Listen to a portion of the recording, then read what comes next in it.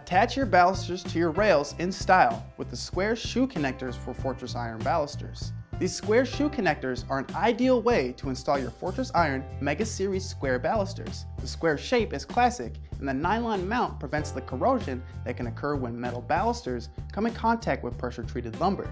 Connectors come pre-packaged with the stainless steel screws that you'll need for drilling-free installation. Available in straight or stair varieties, these connectors come in packs of 20. Install your balusters quickly and neatly with square shoe connectors for Fortress Iron balusters. You can find them now on DecksDirect.com. Hey, thanks for watching.